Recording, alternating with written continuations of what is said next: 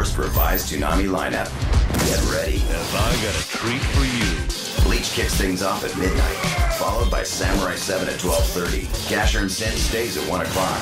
Next, it's Eureka 7 coming in at 1.30. Then Fullmetal Alchemist Brotherhood at 2. And Ghost in the Shell is our last show at 2.30. Then at 3 a.m., the whole block kicks back off again. Only Toonami on Adult Swim.